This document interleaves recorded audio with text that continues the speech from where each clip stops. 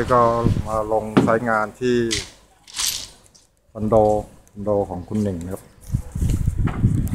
ดิเจนโฮมเข้าแล้วให้ต่อเข้าระวังนิดนึงนี่เจ้าของห้องครับคุณหนึ่งถ่ายคลิปไว้ก่อนเก็บลิฟต์คาบหน่อย พอดีว่าเขากกระดาษไว้แล้ว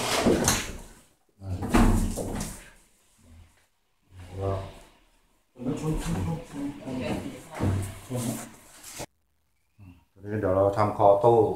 ใส่ไว้บนโต้เสื้อผ้าที่คอนโดของคุณเหน่งนะครับ เราก็ทำทำที่ตัวโครงเรายิงโครงผ่าก่อนคือเอาโครงมาผ่าแล้วก็ความสูงก็จะเท่ากับก็วัดไป จากจากตัวตู้ด้านบนตู้สุดถึงเพดาน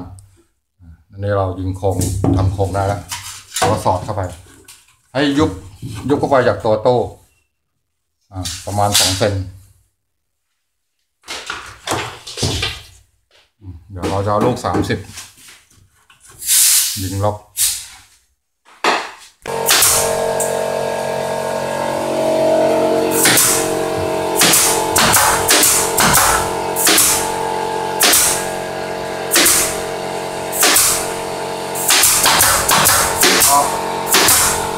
ไปดักกันแล้วกันดักเขาเลย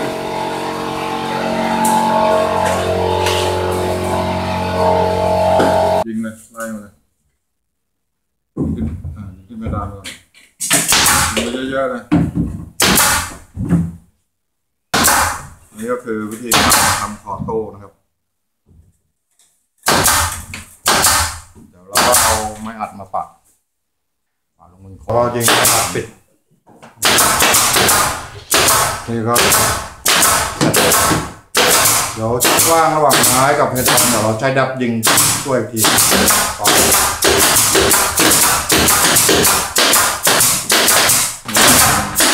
ผนังหัวเตียงปลูกหัวเตียงออกมาครับ ก็คือให้ออกมาเสมอกับตัวตัวเสาไม้ไม้อัดเว้นร่อง เว้นร่องสิบมิล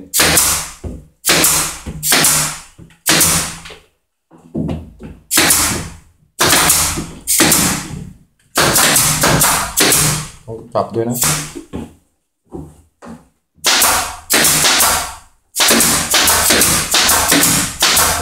กดไปแล้ว